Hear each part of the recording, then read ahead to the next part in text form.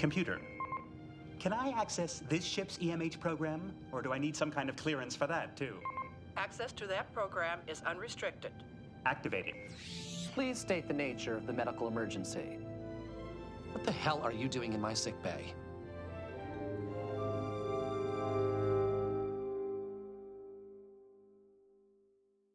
I've been programmed to identify every member of this crew. You aren't one of them. That's because I'm. State your rank and security clearance. I don't have clearance.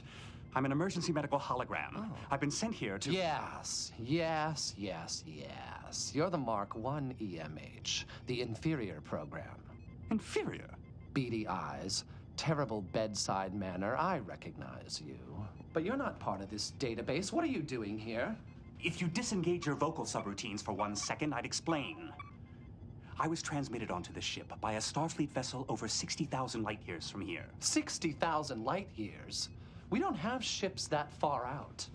It's the Starship Voyager. We were taken into the Delta Quadrant four years ago by an alien force.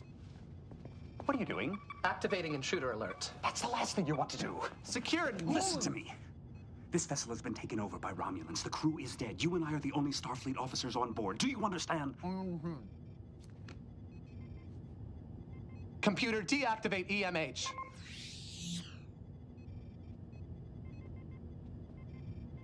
Computer, activate EMH. Please state the nature of the medical emergency. Now what? I need your help.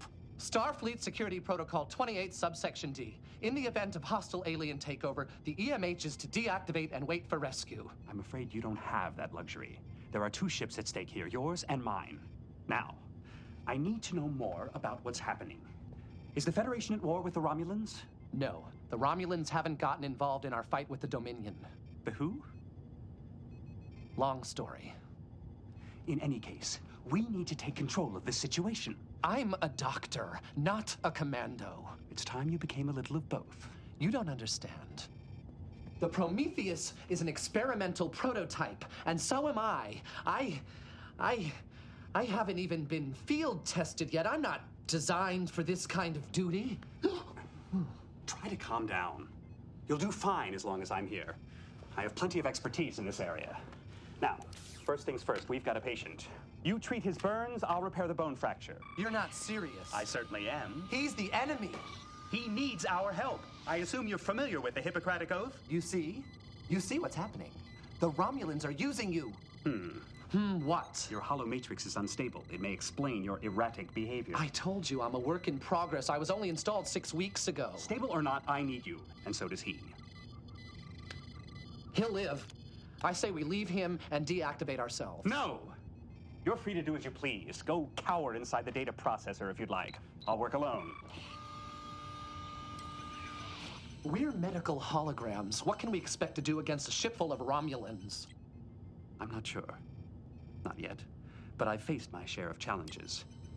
Alien invasions, macroviral infestations. I've crossed Borg space, traveled through time. Have you run a self diagnostic lately? The EMH Mark I is designed to function in sick bay only. Voyager lost its chief medical officer four years ago. I've been active ever since. Four years? No wonder you're delusional. Your program's degrading after being active for so long. I assure you, I am in perfect health. I was saving Voyager from annihilation when you were only a gleam in your programmer's eye. Now, are you going to help me take back this ship or not? Get me the thrombic modulator.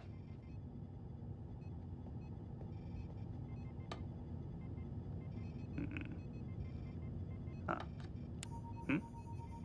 It's the cone shaped device. Hand it to me, please.